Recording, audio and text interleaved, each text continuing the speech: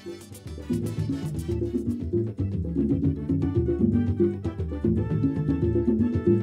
vamos a conversar sobre las características de una persona pasiva agresiva.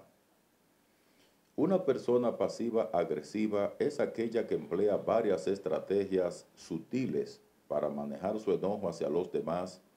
Las mismas guardan resentimientos y frustraciones, eventos internos que condicionan la forma como ven la vida y su relación con otros.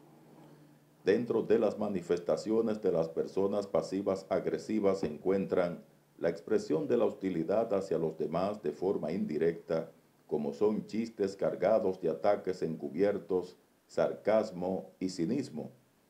También oponen resistencia a las opiniones certeras que tienen las personas, empleando argumentos de distracción que parecerían minimizarlos.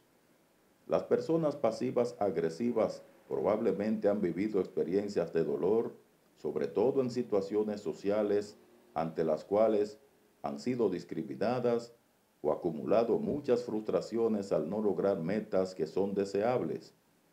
Como mecanismo de compensación desarrollan distorsiones en sus pensamientos que les hace creer que si otros sufren, ellos se sentirán aliviados en su pesar.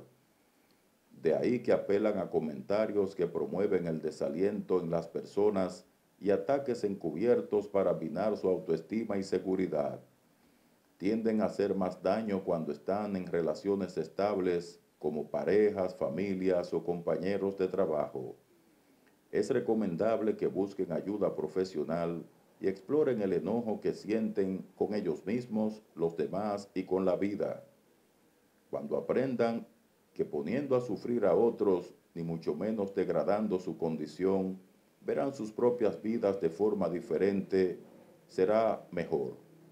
Resolver los temas de privaciones afectivas y falta de logros en el pasado, así como aprender a ver los aportes que les puede hacer la vida saludable que se propongan vivir, completan el pliego de sugerencias que probablemente contribuirán a superar este esquema mental tan dañino para ellos mismos y los demás.